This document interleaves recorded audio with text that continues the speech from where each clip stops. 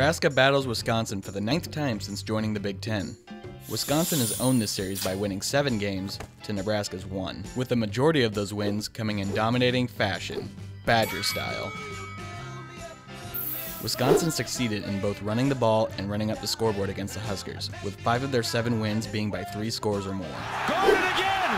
What a performance by Melvin Gordon! Martinez on the run inside the 20 to the 5. Touchdown! Nebraska's lone win in the series came seven years ago when quarterback Taylor Martinez led his team in a 17 point comeback victory. In 2015, Wisconsin won by the foot of Rafael Gaglianone, nailing a 46 yard game winning field goal. And in 2016, Nebraska entered this game undefeated and ranked 7th in the country. The top 10 Huskers, however, would drop this one in overtime. Incomplete!